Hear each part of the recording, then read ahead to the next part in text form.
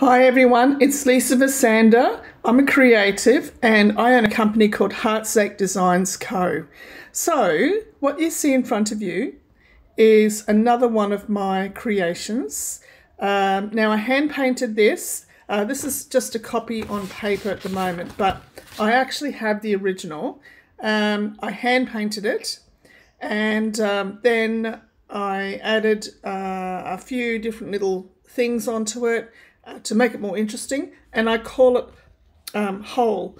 I don't know why. It just it, that's what came up as what it was. So this is one side,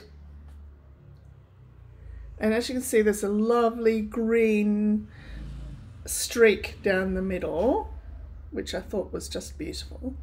And then what I did was I moved it to here onto a mug.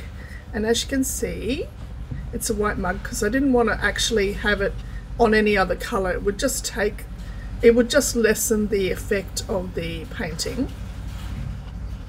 Um, and also I got it put onto a uh, coaster, as you can see, that matches it. So it's a set all up, okay?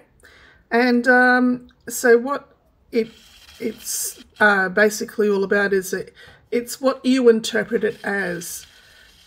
Uh, with abstract and anything abstract, it is all in the eye of the beholder. So what you see. Um, and um, this is so unique. I don't think, I haven't seen anybody else do this kind of thing uh, on a mug. So uh, if you are interested and you want to know more, just contact me, okay? Thank you and have a lovely day.